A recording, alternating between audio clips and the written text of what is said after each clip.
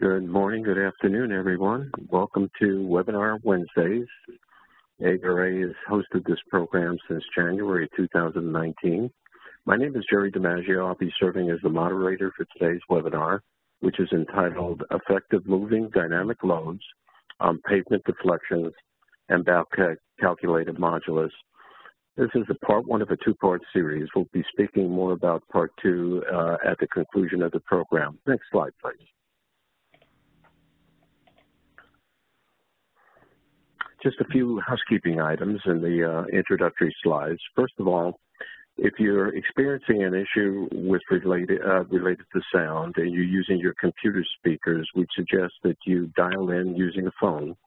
If you have another issue with the webinar, then please click on your chat button at the top and send a note only to the host, and we'll do our very best to try to assist you. Next slide, please.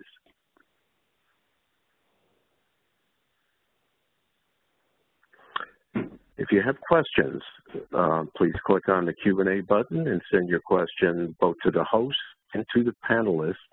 We'll be addressing uh, all of the questions that we receive during the Q&A period at the conclusion of today's technical program. And like most of our speakers, Dr. Lee will be sharing his email address and generally will entertain questions subsequent to the program for generally about a two-day period. Please make them consulting questions. That's pretty much all we ask. Next slide, please. So you see the presentation in full screen mode at the top of your webinar settings. Click on the down arrow, highlight view, and then choose to fit the viewer. Next slide, please. Now I'd like to give you a brief introduction to our presenter, Dr. Lee uh, holds both a master's in civil engineering and his PhD from Michigan State. He has approximately 15 years experience. He's currently a senior research engineer with ARA's um, Illinois office in Champaign-Urbana, and he has conducted uh, research exclusively in the pavement area, but in a variety of topics, truck-pavement interaction, dynamic modeling of asphalt pavements, pavement surface characteristics, as well as viscoelastic asphalt material characterization. And now please welcome our presenter, Dr. Lee. Thank you, Jerry. Uh, good morning, good afternoon, and maybe even good evening, depending on where you are. And thanks for uh, joining us today.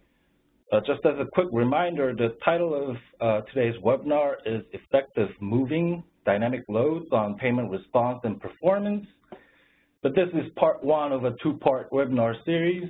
So today we will focus on pavement response and save our uh, discussion for, on pavement performance for part two of the webinar uh, to be held next month.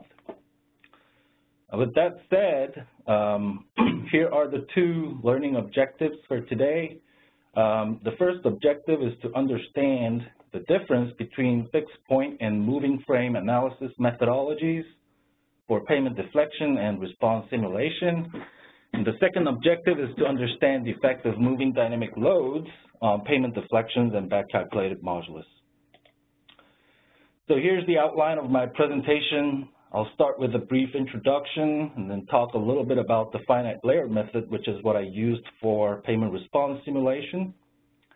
And then we'll talk about two different methodologies for simulating the pavement response, namely the fixed point analysis and the moving frame analysis methodologies. And then we'll talk a little bit about uh, some of the vehicle models for simulating the vehicle dynamic load. And then finally, we'll talk about the effect of moving dynamic loads on um, pavement response with a focus on pavement deflections, as well as on back calculated modulus, which is um, another parameter we frequently derive uh, from the measured pavement responses. So why are we considered with vehicle dynamics? Um, because there is no pavement out there that is perfectly flat. And by that, I mean the pavement smoothness or roughness as measured by the International Roughness Index, the IRI, is always greater than zero in reality. And because the pavement is not perfectly flat, it causes the suspension of our vehicles to move up and down as we drive over those pavements. And of course, the rougher the pavement, the more the suspension movements, and the more uncomfortable the ride quality. And there's many, many other reasons as to why we want our pavements to be smoother or the IRI to be lower. But we will um, discuss or talk about IRI um, and other performance metrics um, during part two of the webinar. And we'll come back to talking about uh, vehicle suspensions. So why vehicle suspensions? Um, the suspension movement generates dynamic vehicle loads, meaning that the load is not constant. And the traffic speed deflection devices that are becoming uh, more and more popular nowadays, they are no exception to the vehicle suspension movement and the dynamic vehicle load. Uh, for example, here's just a plot of the uh, vehicle dynamic load um, measured from one of the um, TSDDs in Europe, and you can see it fluctuates um, quite a bit. But when we come back and do our typical analysis using the TSDD um, data, we often ignore the uh, dynamic load completely and assume that the load is equal to its static weight or static load and run our analysis. And sometimes um, when we measure the dynamic load, we know it's high or low, and we just shift uh, the load curve up and down, but still assuming a constant load. So constantly high load or constantly lower load. So the question I wanted to pose was, what are the effects of assuming such a constant load when in reality it is not? So um, ViscoWave is the program that I've used for um, simulation of all pavement responses herein. Um, it's a dynamic axisymmetric finite layer uh, method based on impulse loading and impulse responses. And it was initially developed for dynamic back calculation of falling weight deflectometer time histories. Um, just, just a few examples here. And it was recently upgraded um, or enhanced to simulate the pavement response under moving loads, um, incorporating both of these analysis methodologies. So let's take a look at these analysis methodologies, uh, starting with the fixed point analysis. So for the fixed point analysis, the load is moving, but the deflection is calculated at a fixed point in the pavement. So if you come to this diagram on the right, the load is moving from here to here, but regardless of the location of the load, the pavement response is simulated at this fixed point um, in the pavement, which we will call uh, the fixed observation point. And it's pretty intuitive, and it's similar to um, any of the, or equivalent to any of the uh, pavement responses measured by the instrumentation that are that is embedded in the pavement. Of course, uh, the tr truck is traveling, but these instrumentation devices, they don't move with the truck. They only uh, measure the response at the locations they are installed. And this is, of course, this is intuitive, and this is what most of us um, think and use when we refer to pavement response under moving loads. Now, on the other hand, for the moving frame analysis, the load is moving and the deflection is calculated at points moving with the load.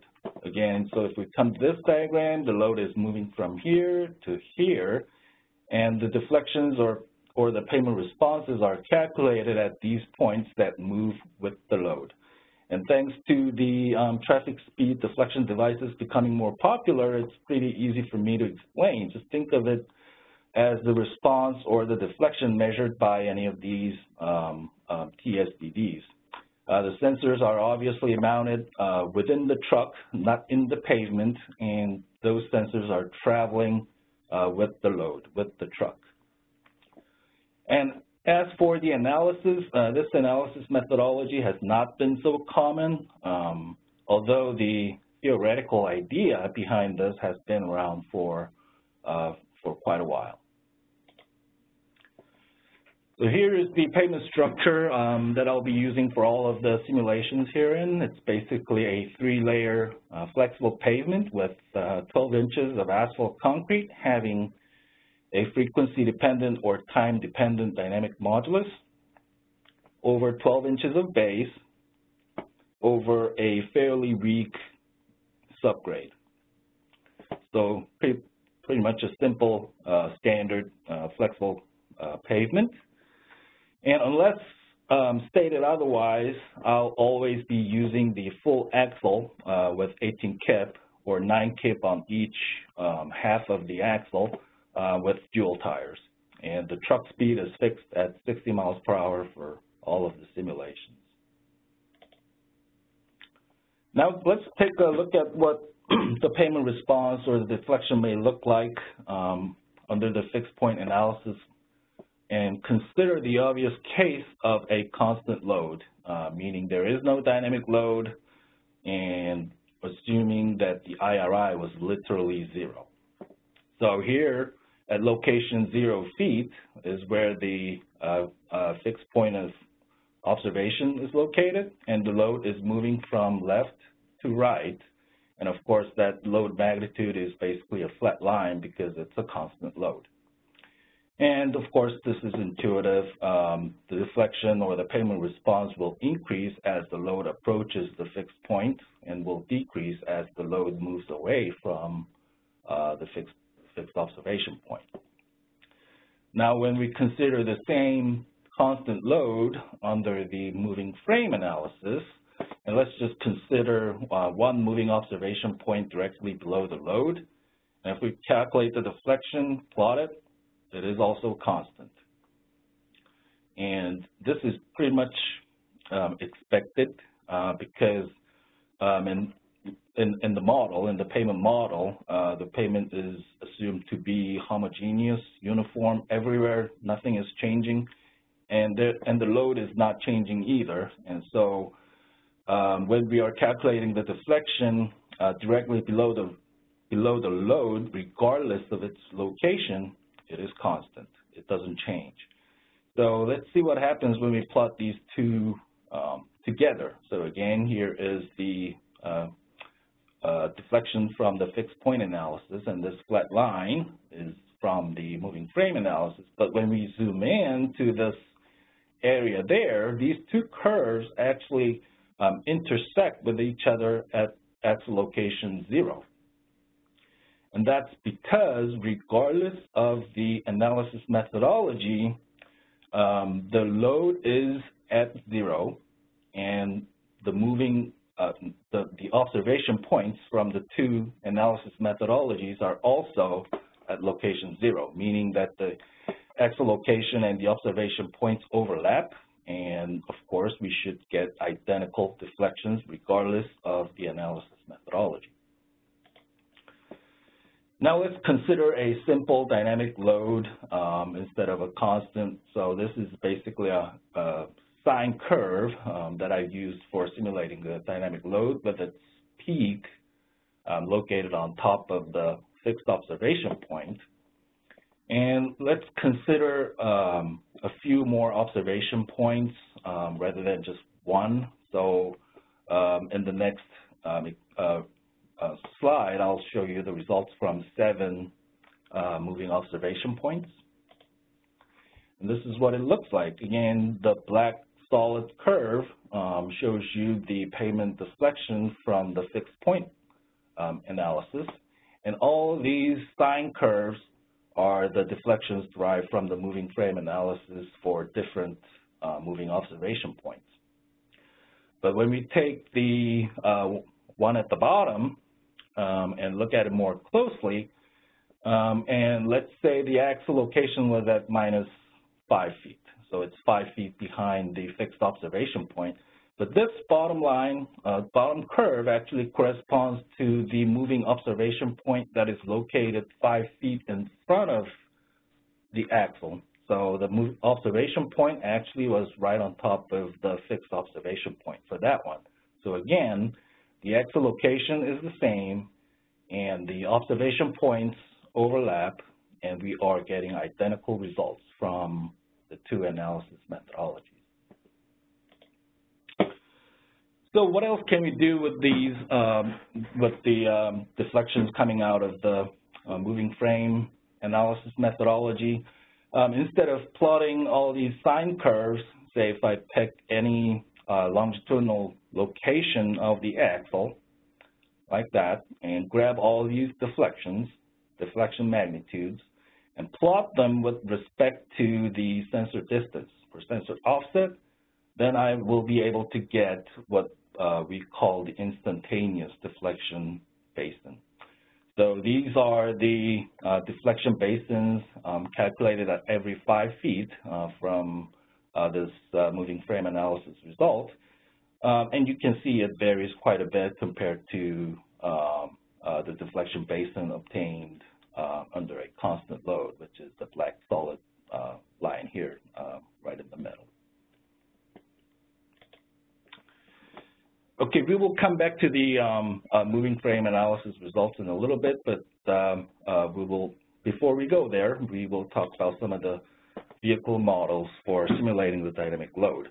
And when I first started looking into uh, some of these vehicle models, I realized that there's so many different models um, that are available out there, um, published in literature, from the most simple uh, models that you can imagine to uh, very, very complicated um, uh, vehicle models with linear or nonlinear suspension characteristics with or without um, horizontal friction effects for uh, turning movement simulation and all that.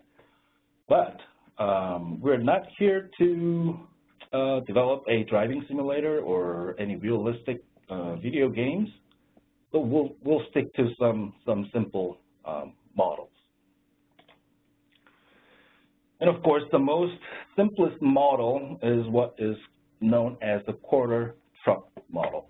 And I was able to find two different quarter truck models in the literature, one from uh, one by one developed by Dr. David Cebon um, uh, from UK, and another one uh, by Dr. Todd at Penn State University. Um, in, but and these have different parameters, but when you actually draw the diagram, they look all, they look like very similar to uh, what is known as the golden car, um, which is what we use for calculating the um, in, international uh, roughness index. But compared to the golden car, when everything is normalized by the, by the sprung mass, uh, these both of these quarter truck models have um, stiffer suspension and weaker tire compared to the Golden car. What goes into the uh, vehicle model is the uh, pavement surface elevation, um, or what we call the pavement profile.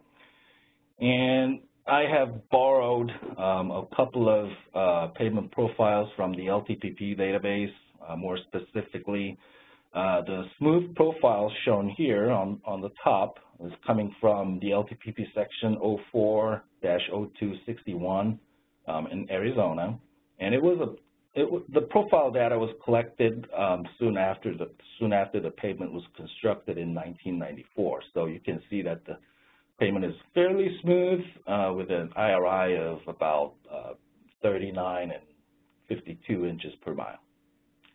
Now for the rough profile shown here, it's coming, these profiles are coming from the same pavement section, um, but after 21 years um, of the pavement being in service, so in 2015. And you can already see that the payment um, um, has been beat up and there's some uh, features that will cause pavement roughness um, as seen by the, all these spikes and we'll see some demonstrations. So here's how, uh, how the two quarter uh, truck models would respond to the uh, uh pavement, pavement profile shown here. So the vertical line shows you where the quarter truck is located. This is the diagram for Dr. Cebon's model. This is for Dr. Todd's model. Here are the plots of the dynamic load, and you can see the instantaneous deflection basin uh, moving up and down uh, due to the uh, suspension motion. Now, another model that I'm going to uh, that I'm going to consider is what is known as the walking beam model, and it basically simulates the dynamic load under a full axle. So this entire vehicle model is in contact with the pavement um, on the left and the right wheel pads. And this model was developed uh, by Dr. Um, David Cebon, I believe in the late 1990s, maybe early 1990s. And of course, uh, this model is traveling into the screen. So let's see how this model behaves under that uh, rough LTPP pavement profile. Again, here's the pavement profile with the vertical line showing you where the where the axle is located. Uh, this diagram shows you how uh, the, the, the, the, walking beam model uh, behaves or reacts um, to that to the pavement profile, just a plot of the dynamic load, and you can see that the instantaneous basins fluctuate quite significantly. Well, to summarize the walking beam model, this plot basically shows you the range of the instantaneous uh, deflection basin compared to the uh, deflection basin obtained under the constant load. And while the range may not be too significant under the smooth pavement profile, it is dramatically uh, wide for the rough pavement profile.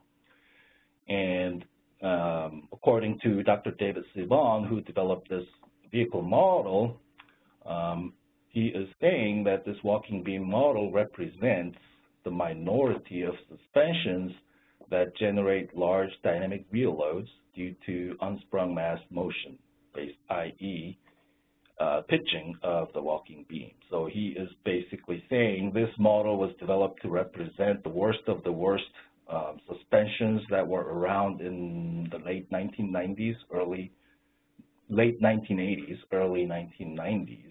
So it's this model is probably not representative of the vehicle suspensions um, that are out there today. But again, this model generates some significant amount of dynamic load, and this is what we will uh, use for demonstrating the effect of dynamic loads on pavement deflections and back calculated modulus. But before we go there, I just wanted to show you another um, vehicle model uh, just as a sneak peek at the uh, next webinar Wednesdays. It is a three-dimensional uh, truck uh, trailer model with uh, 14 degrees of freedom. And you may think this is this looks quite complicated, but but if you um, study um, enough, it, it's, it's not uh, too complicated because it does not include any of the nonlinear suspension characteristics that will make this really, really complicated. So um, all in all, uh, this model is nothing but just a bunch of masses uh, here and there connected by a bunch of springs and linear dashpots. Now, in the previous examples, we only showed up to um, seven moving observation points, but with this uh, three-dimensional uh, truck trailer model, I decided to go a little more extreme. So I put uh, located the uh, moving observation points on each wheel path um, spaced at every 0.1 feet. Uh, so we had a total of about uh, 1,200 moving observation points in each wheel path um, for a total of two, about 2,400 moving observation points. And the reason I did that was to try to get a full picture um, of the deflection under the full length of the truck. And so far, we really focused on pavement deflections, but I want to, want to point out that the moving frame analysis um, can be um, extended to any pavement responses, um, stresses or strains. So just as a demonstration, the next animation will show you the deflection of, um, of the pavement under the uh, 3D uh, truck, as well as the longitudinal stress and strain that was calculated at the bottom of the asphalt concrete layer. So this animation is really busy, but again, here is the rough LTPP pavement profile. This is a rear view of the trailer, and here's the left half and the right half of the truck. And as the truck is traveling over this uh, rough pavement profile, this is how uh, the deflection would fluctuate. And these are basically zoomed in versions of the deflection under each of these axles. And the second row um, shows you the longitudinal stress calculated at the bottom of the asphalt concrete layer. And the bottom row uh, figures um, show you the longitudinal strains.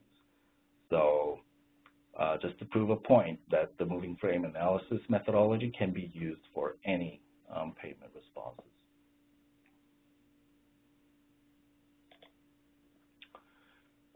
But why should we stop there? So I just wanted to um, go a little more extreme and uh, basically took the one, one half of the trailer axle and instead of a dual, I assumed it to be a single tire just to make it simple. And I've had placed the uh, moving observation points not only in the longitudinal direction but also in the transverse direction um, um, uh, ranging from going from minus 30 feet to 30 feet uh, at every uh, 0.1 feet. So uh, the bottom line is I put about 90,600 moving observation points uh, because I wanted to be able to visualize it in 3, 3D, just like what I'm showing you here. So here um, is the um, 3D visualization of the pavement deflection under uh, the dynamic load. Uh, the only difference between the one on the left and the one on the right is that there is a tire here on the left just to um, represent the dynamic load or the suspension movement. Uh, the 2D plot on the left basically shows you the dynamic load trace, and this little red dot shows you where the axle is at that point in time. And the two-dimensional plot on the right um, is just a, um, a, a, plot of the pavement deflection along the longitudinal center line um, of the tire.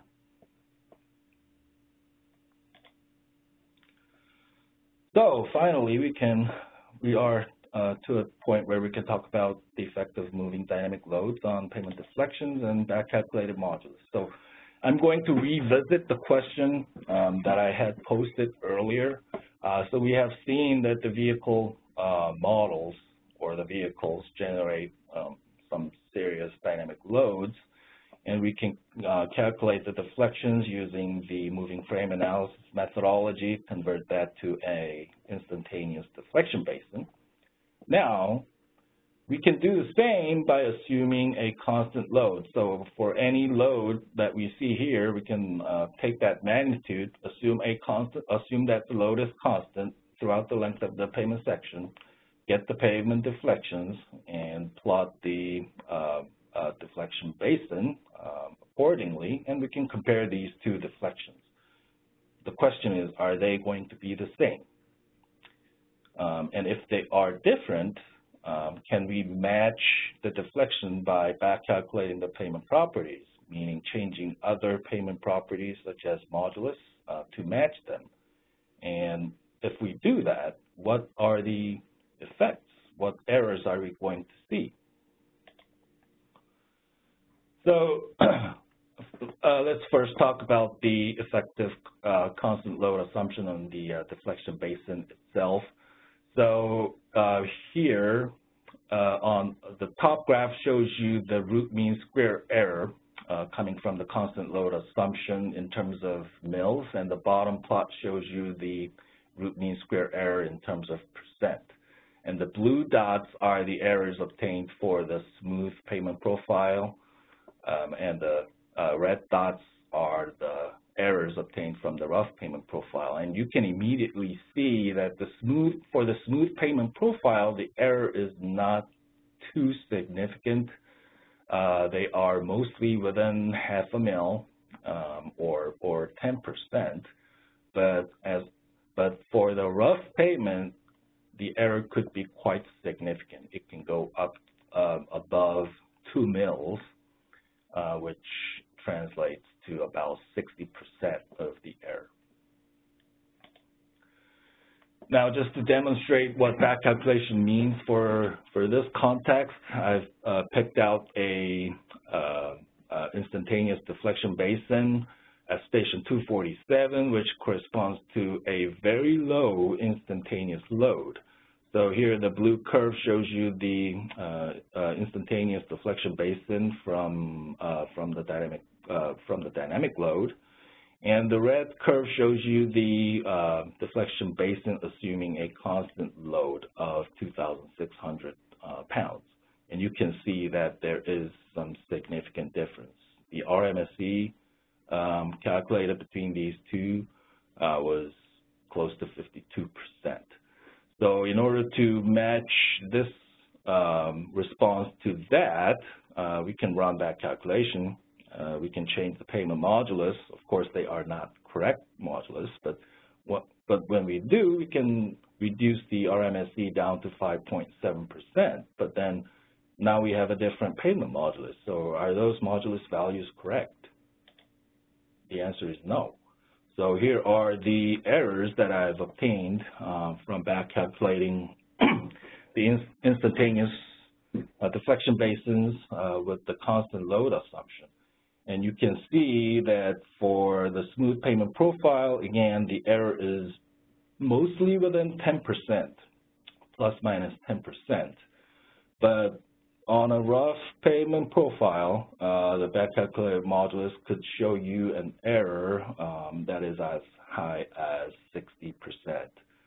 Um, and regardless of the smoothness, uh, smooth or rough, uh, the subgrade modulus seems to be affected um, the most, uh, followed by the asphalt modulus and, and the base modulus.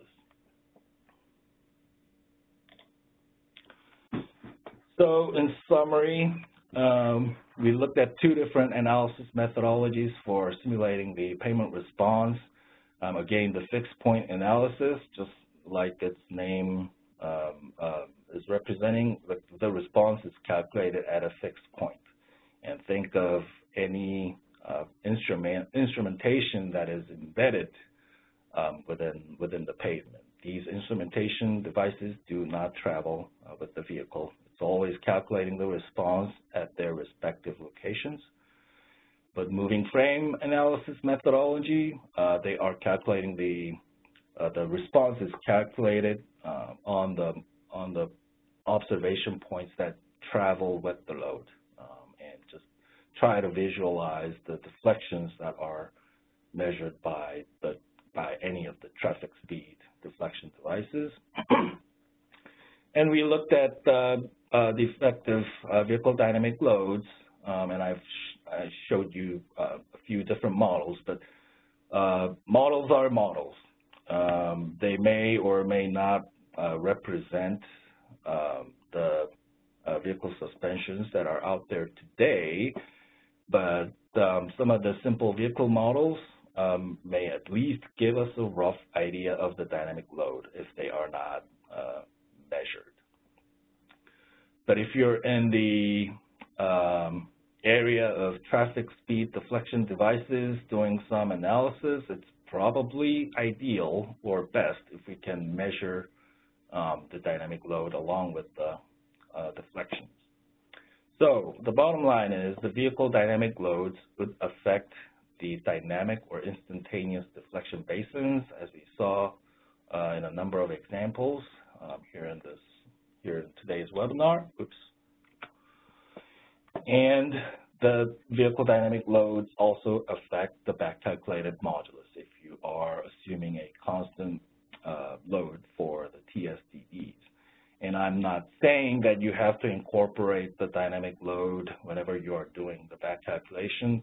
All I'm trying to uh, bring up is that depending on the models and depending on the uh, limitations of the models you have, there will be errors in the analysis you do, and you just need to be, or we just need to be aware um, um, of those errors. And that's all I had for today. So thank you, and um, Jerry, uh. Yes, thank, th thank you, Young. Thank you. Um, that was a fantastic delivery. I uh, I must admit, uh, not that I'm surprised at all, on a very complex topic. So um, if you have questions, and we do have a number of questions that have already been typed in, but we'll get to those in a few minutes. Uh, we want to remind you of a couple of things before we get into the Q&A program. First of all is that part two, as we've uh, mentioned already, uh, several times that this program will be delivered by Young again uh, on August the 19th, of course, that is a Wednesday. And uh, you see that here. Uh, I'll also be talking in a, in a moment about our programs that are recorded. And we look at this particular part two topic, is it's really focused on a slightly different emphasis area mechanistic empirical prediction of uh, the IRI, International Roughness Index. Next slide, please. We uh, generally would like to have a, a, diverse range of not only topics, but from uh, different presenters, both strong practitioners, strong researchers, just as you heard Young and I introduced him. He uh, comes from our research side of the house, but also has a lot of practicality. So on this slide, uh, you see the upcoming webinars. We have now programs uh, booked um, through December of this year, and this will be an ongoing program. We've had a great response from our engineers and our scientists, and this is all um, focused on surface transportation topics, and it's all presented by ARA employees. So just quickly eyeball of the four topics that are listed here. Young, as I introduced him, is from our Champaign, Illinois office. Uh, the September program on probabilistic safety analysis and friction management. Ahmad is from our Champaign office as well. Our October program is from our Toronto office. Charlotte will be presenting that, and that is on uh, super heavy load movements, and had a pre uh, preview of that. That should be a very interesting program. And then finally, for our November program, I mentioned we're booked through December. We have Mr. Brian Aho, who uh, specializes in airport pavement management. He'll give us a little view of past, present, and future. And Brian is from our Madison, Wisconsin office. If you want to register for any of these programs, you see the um, www address where you can find out more about the programs and register for any of those as you would like. Next slide, please. So I'd like to spend a little bit of time on uh, the questions that we have, and uh, we've got a time, I, I, believe, to address most of the questions as we go forward here. So forgive me as I, I read these, Young, and, um, and I'll paraphrase as best I can. So the first question is from Emin, and the question is, do you think that dynamic load effects on deflection and stress should influence the vertical curve geometric design I've got to scroll down myself here, which currently is only designed for sight distance and does not include any consideration of dynamic loading? That's a tough question. Um, and let me uh, go back to one of the uh, slides. Um, if you look at this uh, sample uh, dynamic load um, that was measured by one of the TSDDs, it's not fluctuating like the uh, like the uh, example that I showed you from the model. It's at, say for example this blue curve it stays up here for quite a while, and that's because the truck was going um, uh, uh, basically over a over a curve. And so you can see that the, the, the dynamic load is higher uh, on one of the wheel paths, but lower on the other wheel paths when, when the truck is turning over the, um, over the curve. So um, it's probably reasonable um, to incorporate, incorporate that into design if, if we know how much that additional load we're going to get. But it's probably not easy to quantify um, and implement that into into a design. That's my understanding.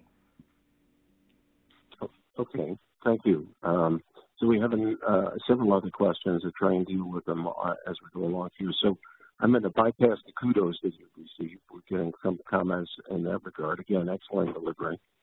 So the question is from Palal, and it seems that a rough road, the question, excuse me, it mm -hmm. seems that a rough road will increase vehicle load dynamics, i.e. Mm-hmm. the magnification of the vehicle dynamic loads and increase potential pavement damage. Is that a correct observation? Uh, that's actually what we're going to be talking extensively during uh, part two of the webinar. But if you ask me, I believe the um, rough pavement or the dynamic load generated under the rough pavement would accelerate uh, the pavement damage. Yes. Okay. Um, next question.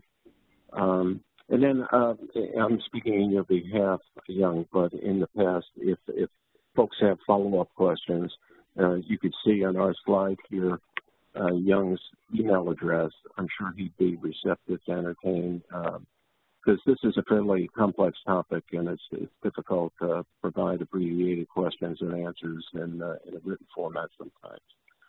Sure. And Bella uh, asked a question, and uh, if there's a, any standard that you follow when conducting such research, and if your answer is yes,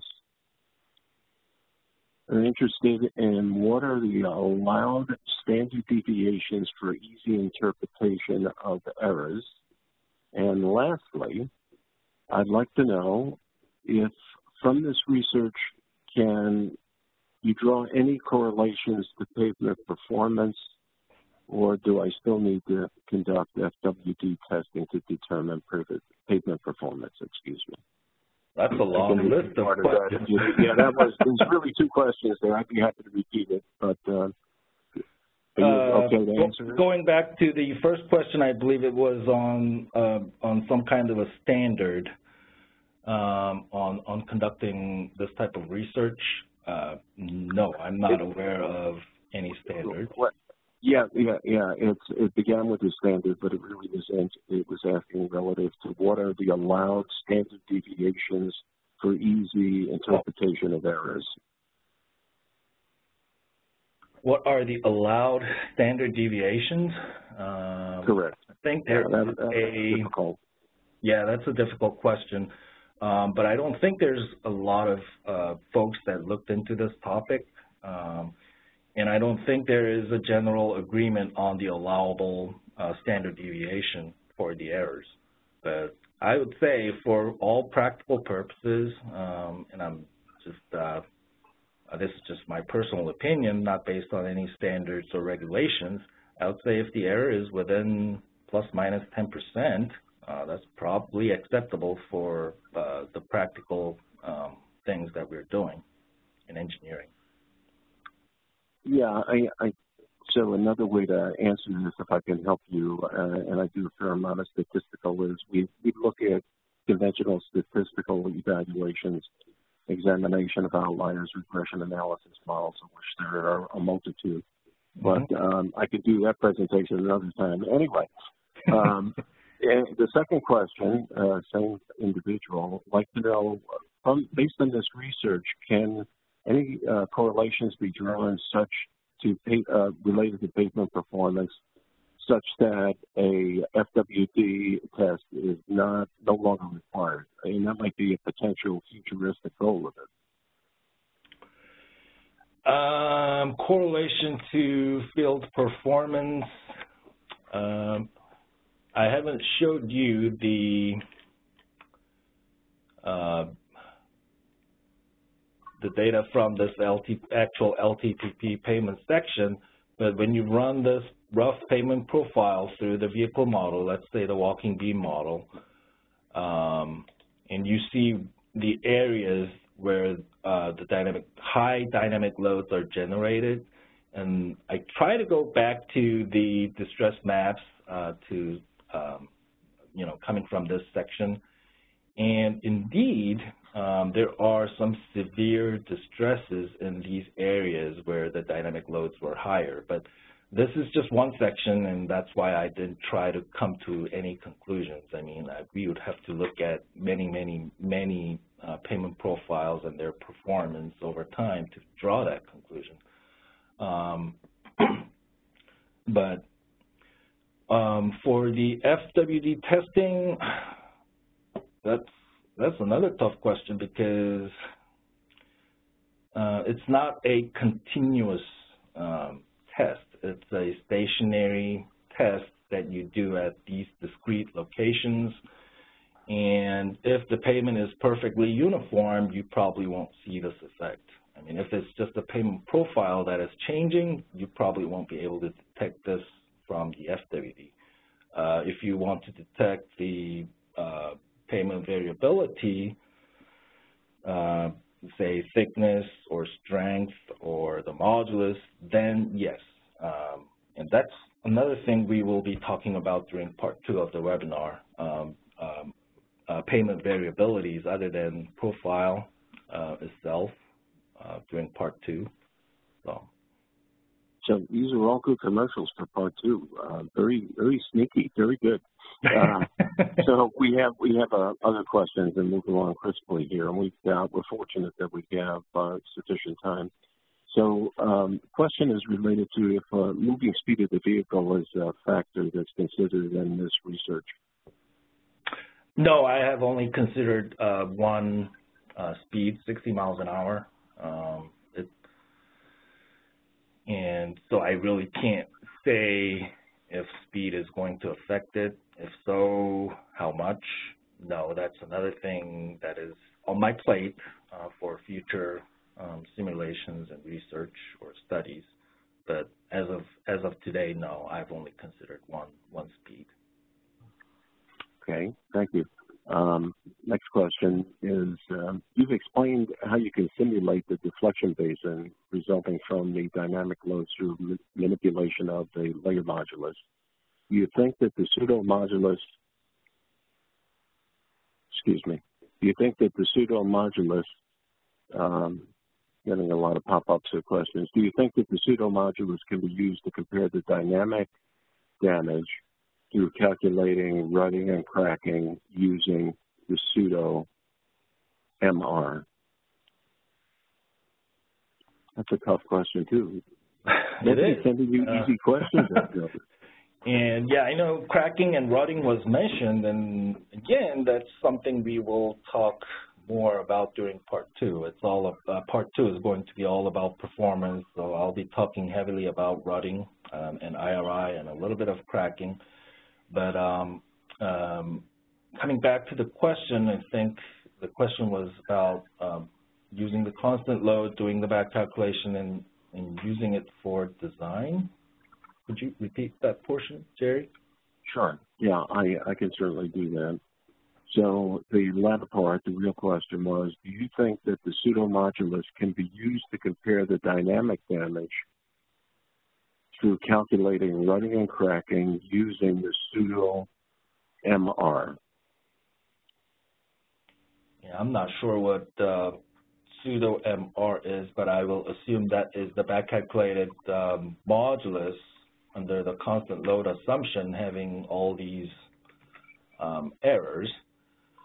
And like I said, um, uh, if if the constant load assumption is all you have, and if the if if you don't have any other model to compare to, that's the only number you're going to have, and you probably won't have a way to assess the error that you're going to get. You just have to live with that number. Um, so if you're doing design, you know, again, going back to my conclusion, you just have to be aware that there are errors, and the error may be bigger for rougher pavements, which is typically the case um, when the pavement is approaching its uh, end of life. So okay. Um, another question, and we have an acronym here. Uh, so did you confirm the results of your analysis with field data, such as those measured from capitals, TSDDs? I know material properties would be an issue. Uh, as of yet, no, I, I don't have any uh, field measurements to compare against um, because uh, obviously everything I showed you here today is uh, coming out of the vehicle simulation and the pavement response simulation. Everything is uh, everything was uh, generated on a computer. There is nothing measured. Um, the only thing, the closest thing that uh, that is the closest thing to what is measured is probably the pavement profile itself. That's the only thing measured. Um, but no, I don't have any performance data to compare any of these results um, um, with reality. That's something I would like to get to, um, definitely. It'll be my dream come true, if you ask me. Uh, research is never done. Um, this is my 48th year of practice, and we're studying the same things in a different vein that I did in year one. So we have a few more questions, and we've got about six minutes or so remaining for question period here. Uh, in, in, next couple are a couple of softball questions, I think easier to articulate and perhaps for you to also answer. So uh, Ahmad had asked the question of what is a finite layer method, and he's familiar with finite difference and FEM methods, uh, but never heard previously of a finite layer method. Oh, I actually have a um, hidden slide uh, for that purpose. So finite layer method is um, similar to the finite element method, which I believe most of you um, have heard before. Um, it's similar to the finite element in the sense that the entire pavement structure is broken down into smaller elements. But in the finite element method, you have to break down each of these layer into many, many, many, many, many smaller um, elements. But in the finite layer method, um, the solution for each layer is derived um, analytically or at least semi-analytically. So uh, uh, one layer essentially becomes one element. And these different elements or different layers are connected uh, the same way that these finite elements are connected. So if we have a three-layer pavement structure, that means we only have three elements finite layer method. And uh, having less number of uh, elements or layers, that just uh, helps us to get the results uh, more efficiently, uh, more faster compared to um, the full-blown 3D finite element. Okay. Um, again, uh, a fairly succinct question. Um, can you conduct the moving frame analysis with other existing programs that simulate pavement response? Uh, yes, it can be done. Um, it's just, uh, uh, depending on what program or what um, um, analytical solution you have. Uh, for example, if it's just a layered elastic model with uh, linear elastic material models, the models don't depend on, uh, the models are not time dependent. So you're already done. You just run the uh, layered, anal uh, layered analysis uh, once with a bunch of um, observation points, and then from then that point on, all you can change is the load magnitude. So the deflection will be um, um, scaled up or scaled down depending on the on the load. If you have a layered viscoelastic model, uh, which I know is becoming fairly popular uh, nowadays, or if you have a dynamic uh, model uh, like the one I have, it's a little more involved and you probably will have to tweak the source code um, so that your output is reorganized to spit out the moving frame results. Um, but it's it's doable, and if you are running the full-blown finite element again, then it's probably doable too, because for the finite element, uh, the solution is derived uh, for the entire domain of the pavement. So you just need maybe need to write another separate code to extract the uh, the pavement response wherever the load is, as the load is moving. Okay, we've only got about two minutes left for questions, so let, us try and get one more in here. On uh, reference to slide 42, um, this, the deflections that were shown were fluctuating under a constant load. And the question is why shouldn't shouldn't this deflection be a constant value? The, the def deflection was, oh. Slide 42. This portion, okay. Um, uh, well, we all agree that it's flat um, out here, so I guess the question is um, this transient uh, behavior, or, or, excuse me, let me try to use some plain language. Um, the the pavement model that I've used is a dynamic model, so there's effective inertia or mass. And the way that the analysis is run is that the pavement, uh, the load uh, lands on the pavement and then starts uh, traveling over uh, uh, over the pavement. So when I start the analysis, the axle lands on the pavement, meaning the load goes from zero to whatever, 9,000 pounds, let's say. And because of that landing impact, uh, the pavement actually shows some vibratory or transient response um, initially, but that response actually dies out uh, fairly quickly. And I'm sorry, I should have chopped that portion off um, uh, just to avoid any confusion, and I have done that here, um, but I obviously failed to do that here because you know, I'm not an airfield engineer um, I'm interested in landing or taking off kind of effects. So. Okay, very good. Uh, we forgive you for that. Um, so would you take me Young to slide 50, please? This will uh, just kind of wrap up the program. Sure. And uh, first of all, I want to thank everybody on behalf of Young, myself, is Jerry again, and ARA is Oval Corporation. And uh, today's program is being recorded, and there's a link uh, where you can go and view all previous ARA webinars.